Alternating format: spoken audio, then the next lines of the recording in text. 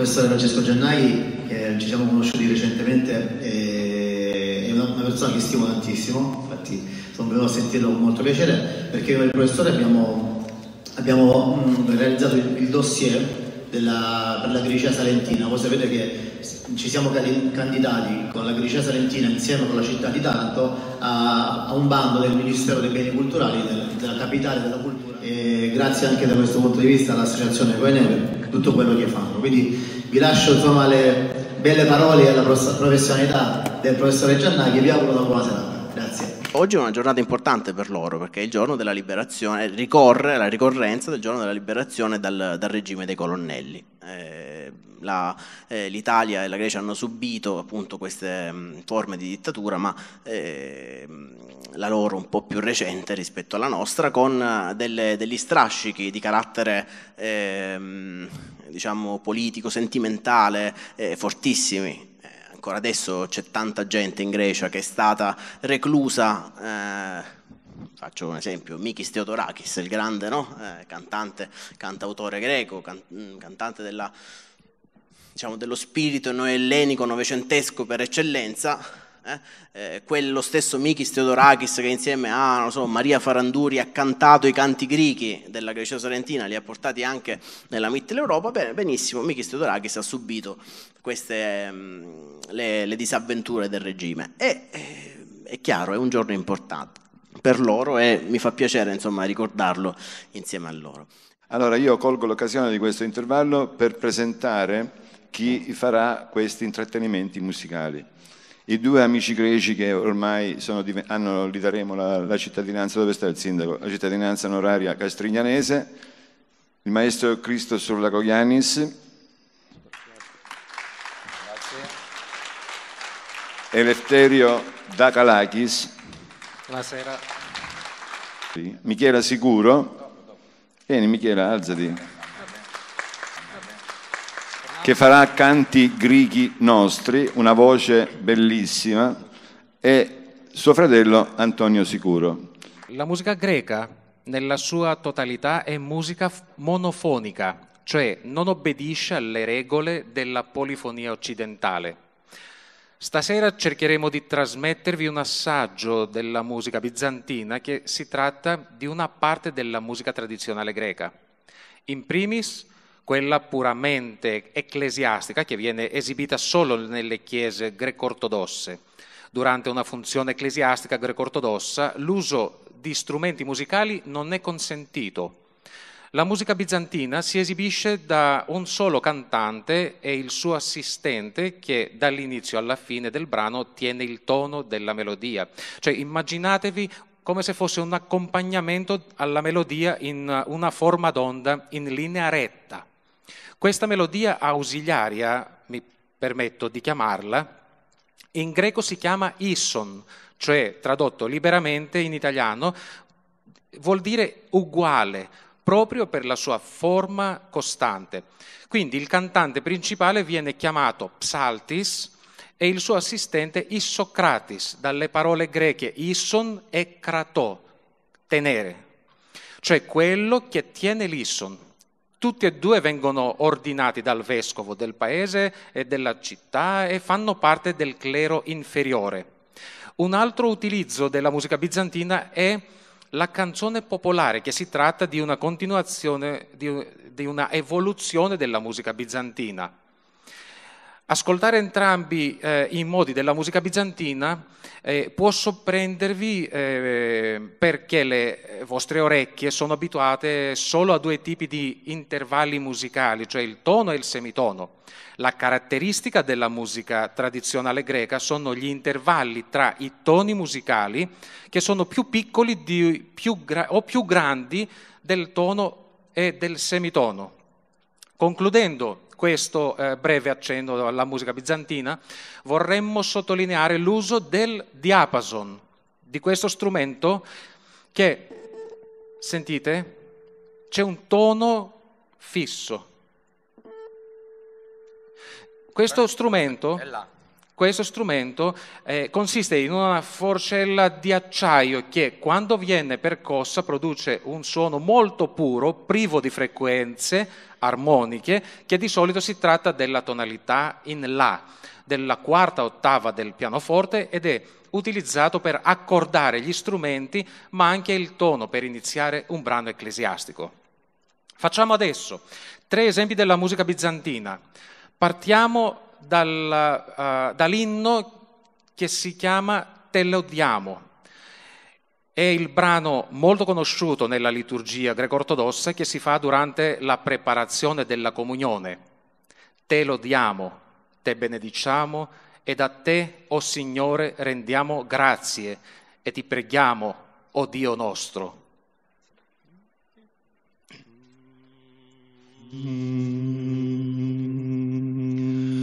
So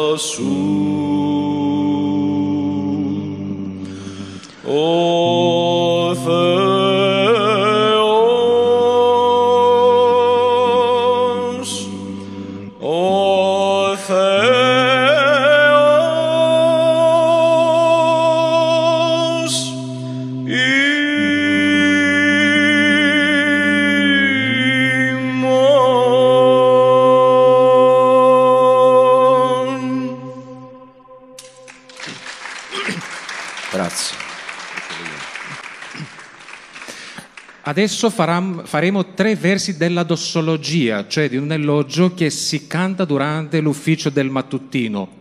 Gloria sia data a Dio negli altissimi e pace in terra, eccetera, eccetera.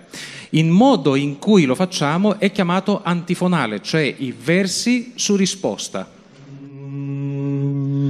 Δόξα σοι το δείξαντι το φως Looks on.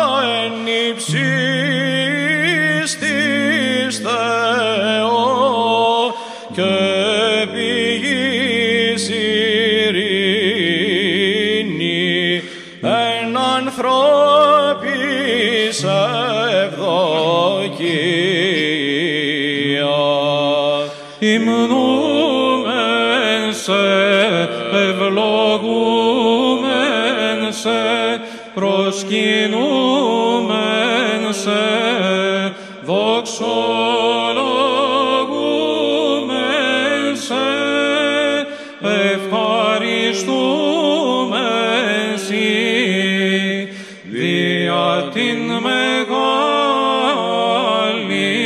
σου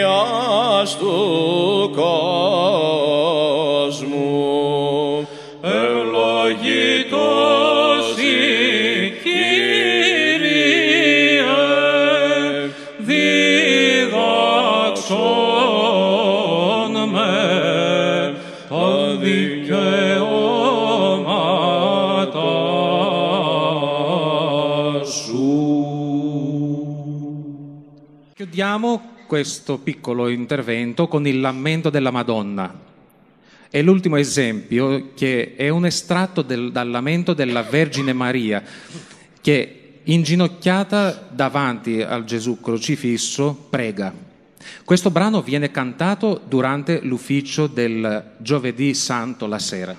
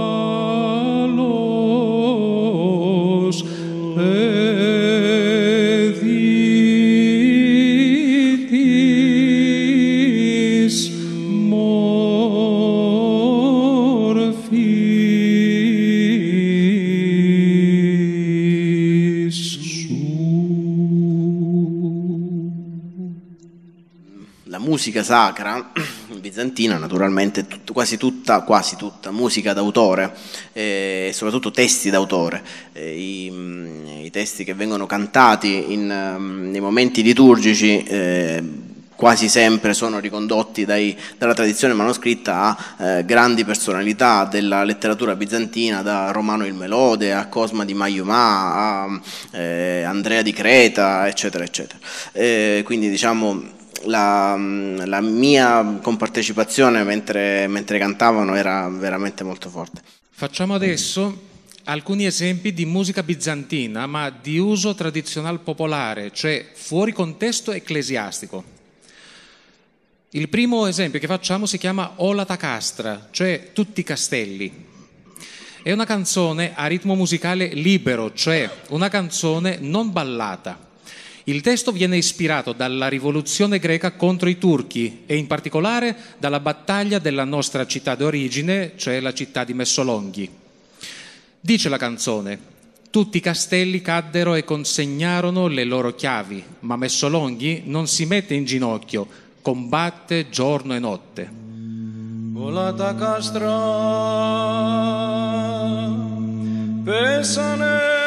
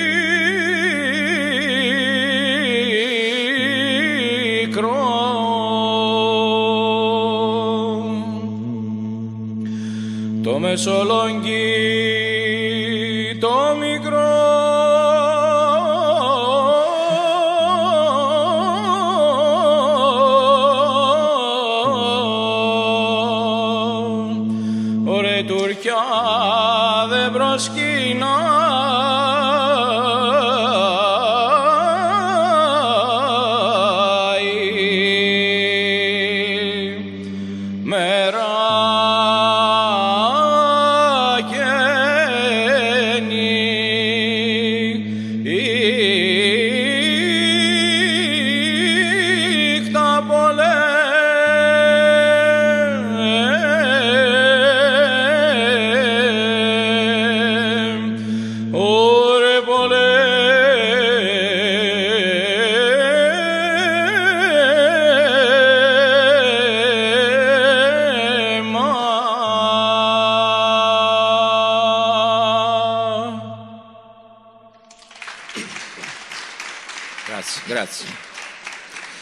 La particolarità di, delle canzoni del genere, come questa che avete sentito, sono le larici molto difficili che richiedono una formazione molto approfondita e una tecnica particolare da parte del cantante.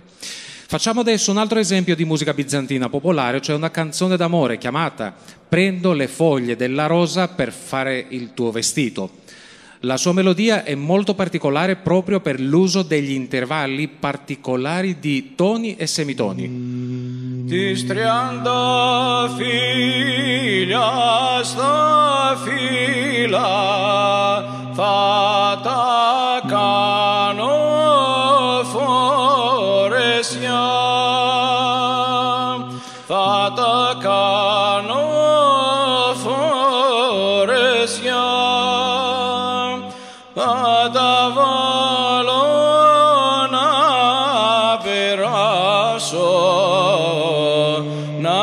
σου κάψω την καρδιά.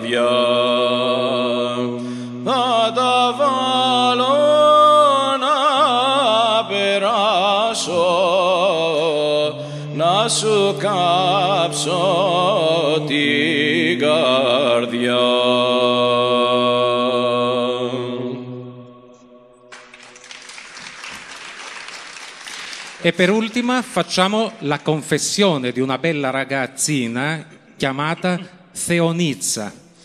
Una, eh, una sua- a sua nonna, cioè fa la confessione eh, davanti a sua nonna verso il giovane eh, del quale si è innamorata. La ragazzina confessa l'amore chiedendo alla nonna di suggerirle alcune cose e chiede l'aiuto. Love vino y yo,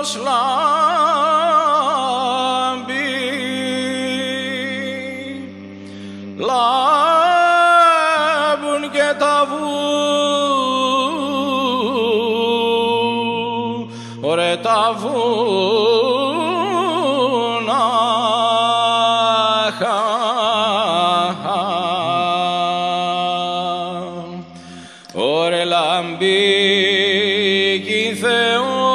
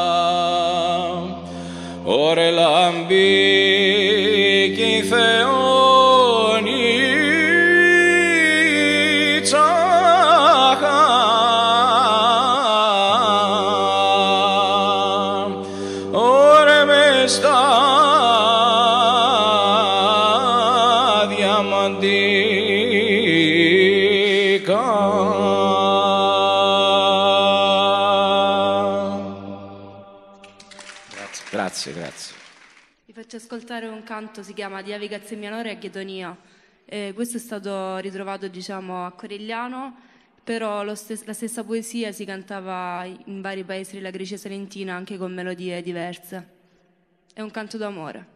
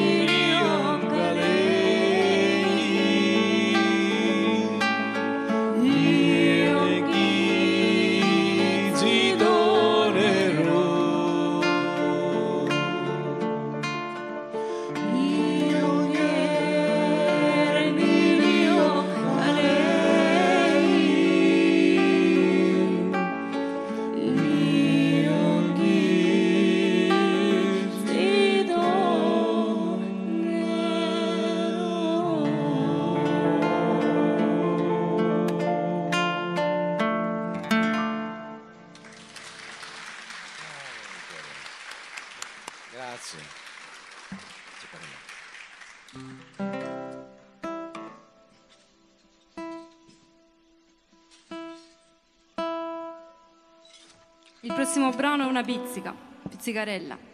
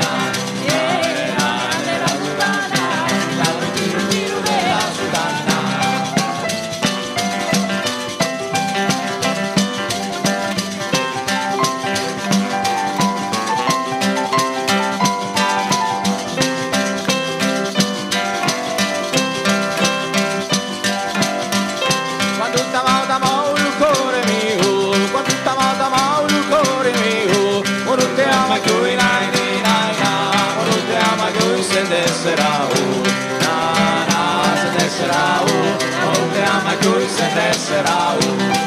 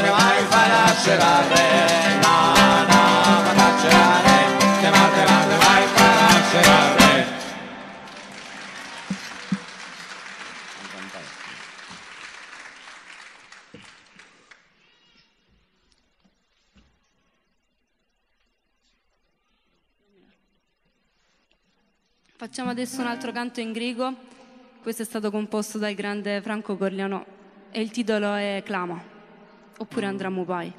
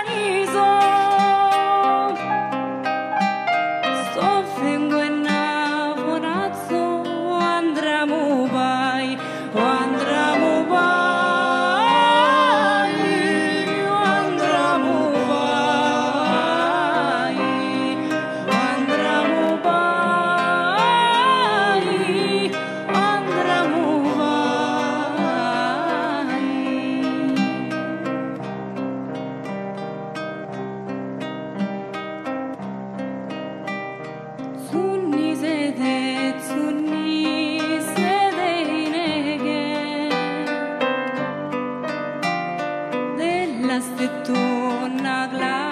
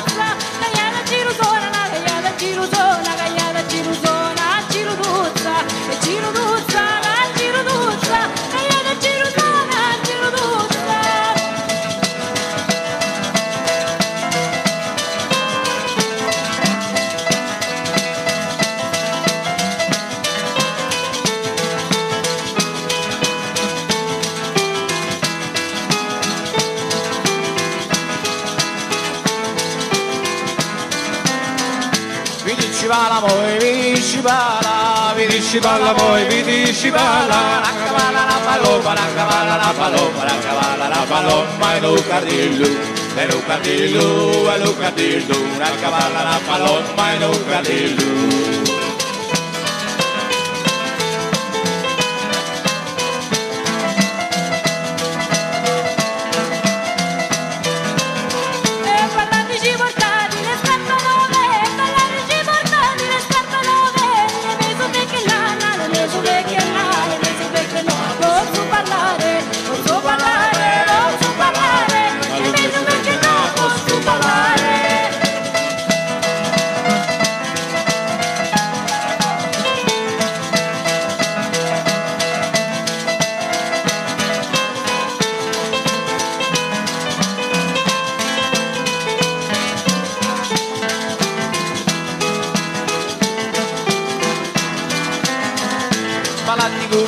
cascianeri vedi e palardi con i cascianeri vedi canta sutta le ginocchia canta sutta le ginocchia canta sutta le ginocchia. Pare pare ma pare pare ma pare pare. Canta sutta le ginocchia pare pare.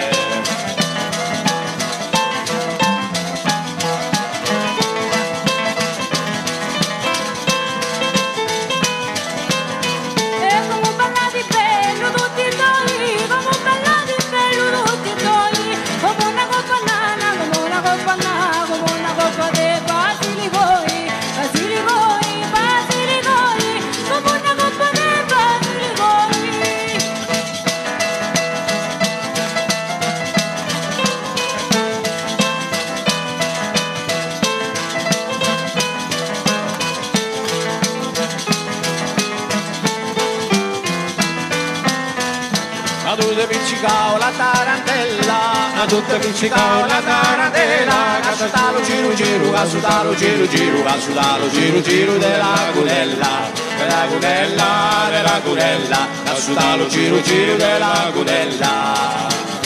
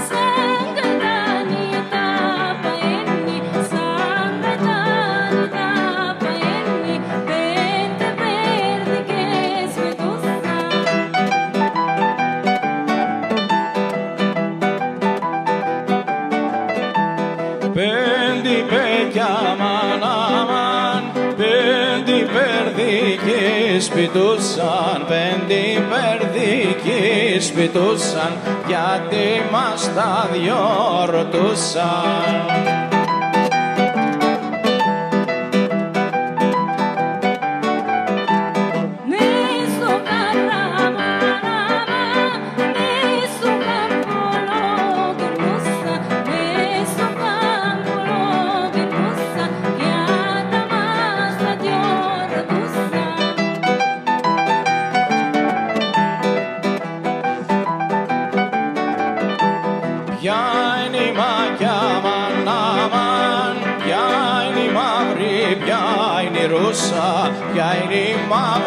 πια είναι η Ρούσα, πια είναι η Γαϊτανοφρυδούσα, πια είναι η Μαύρη, πια είναι η Ρούσα, πια είναι η Γαϊτανοφρυδούσα.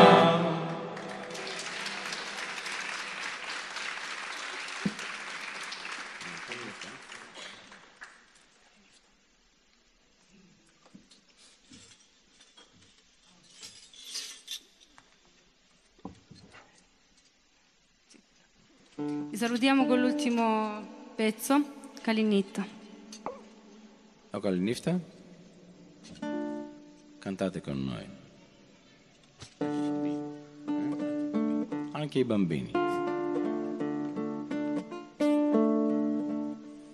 Tenglice adussi lifta tenoria Överplan open sound dans scena και του πει στη φερέστρα σ' αγάπη μου της καρδιάς μου σου νύχτο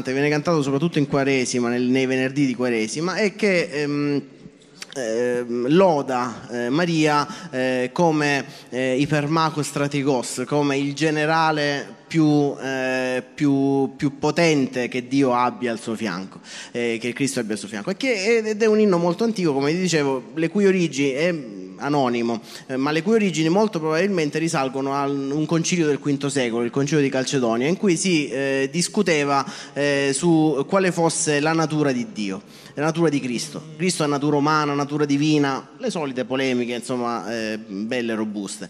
Eh, capendo che mh, Cristo aveva natura umana e divina, naturalmente la cosa implicava anche un discorso sulla madre di Dio, su quale importanza avesse la madre, cioè colei che l'aveva partorito. Quindi ehm, nel ringraziare ancora una volta insomma, sia la bellissima esecuzione dei canti in, in greco che, che ho sentito, ripeto, di un greco molto pulito, eh, ehm, veramente ben, ben fatto, sia la magistrale esecuzione dei canti bizantini. Vi, vi saluto da parte mia insomma, e vi ringrazio ancora per eh, avervi, avervi ospitato e aver ehm, avuto la pazienza di seguire e vi lascio all'esecuzione di Tiper Maco Stratico.